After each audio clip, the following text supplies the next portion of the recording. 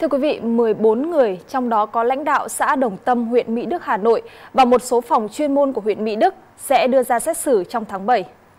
Nguồn tin từ cơ quan tố tụng cho biết các bị can bị truy tố đều là các cán bộ lãnh đạo xã Đồng Tâm và một số phòng ban chuyên môn của huyện Mỹ Đức với tội danh là lợi dụng chức vụ quyền hạn trong khi thi hành công vụ và thiếu trách nhiệm gây hậu quả nghiêm trọng. Theo nội dung vụ việc thì từ năm 2002 đến năm 2013, một số cán bộ lãnh đạo xã Đồng Tâm vì động cơ vụ lợi đã thực hiện việc cấp giao đất trái thẩm quyền, hợp thức đất lấn chiếm cho một số hộ dân trái quy định. Cán bộ văn phòng đăng ký đất đai của huyện Mỹ Đức, Phòng Tài nguyên và Môi trường huyện Mỹ Đức bị cáo buộc là không thực hiện đúng chức trách và nhiệm vụ được giao, thiếu trách nhiệm trong việc thẩm định, thẩm tra nguồn gốc đất, dẫn đến việc ký xác nhận không có căn cứ.